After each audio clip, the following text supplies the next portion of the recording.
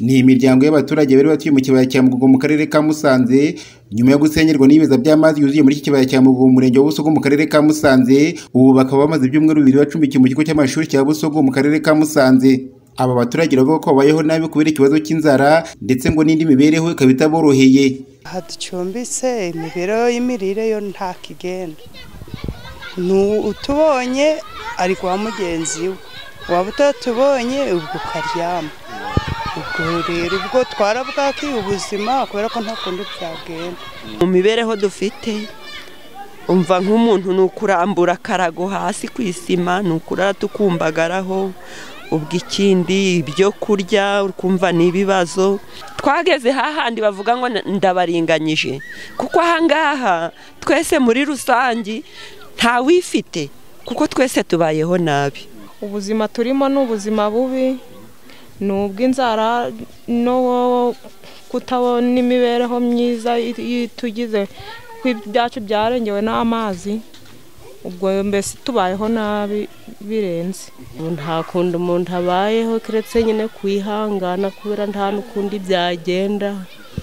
Umuntu agategereza ukuntu bizaye muri ubu ubuyobozi ukuntu bwagira uko bubigenza. Icyifuzo cy'aba baturage barasaba ko batabarwa kugira ngo babone icyo kurya kuko ngo imitungo yabo n'imirimo yabo byose byangiritse bakaba barasigaye amaramasa ikindi ngo bakaba bashakirwaho gutura bakava muri aya mashuri.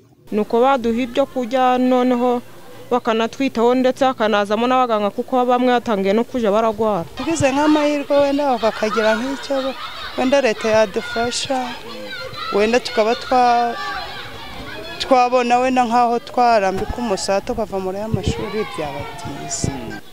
Turasaba ubufasha kugira ngo wenda nk'aha turi none se abanyeshuri batangiye kwiga twabaho hehe. Ikindi ni ukumenya ngo wenda no mu bufasha bakatugenera nk'icyo twarya no gukumbagara hasi ntacyo kuryamaho ibirago ukubona ko ari ikibazo. Ubushobozi buhari badutabara ni ukuri tumerewe nabi. Ubuzima bumeze nabi kuryama wapi? Ubwo nka kano gatenge ni ukugatwikira abana n'imibu ntiwarora. Bafite n'uko babigenza nyine baduha na supanete zo kuturindira mibu umuyobozi w'akarere ka musanze madame niwumuremyi janine ku murongo wa telefone yavuze ko iki kibazo bakizi kandi ko bagiye kugerageza uko bashoboye kugira ngo batabare aba baturage. Ibyo turabizi natwe n'abasuye n'ubwo ndabizi.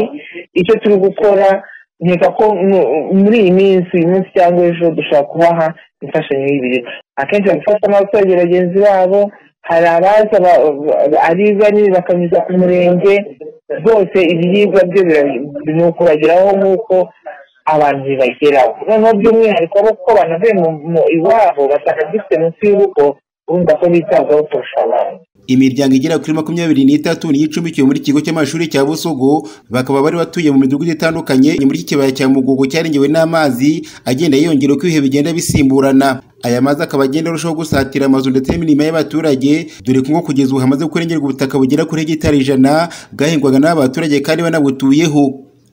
Gasito nirembere btn tv mu karere ka musanze ho mu ntara y'amajyaruguru.